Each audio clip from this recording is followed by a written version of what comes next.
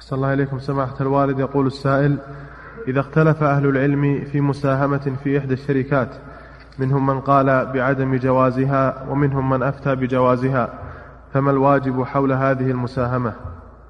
أول شيء تشوف منهم هل مختلفين هل هم علماء ولا ما هم علماء. ثانيا لو قدر أنهم علماء واختلفوا توقف أنت. توقف. ما دام اختلفوا هالمسألة فيها محذور. توقف عنها ابتعد عنها. نعم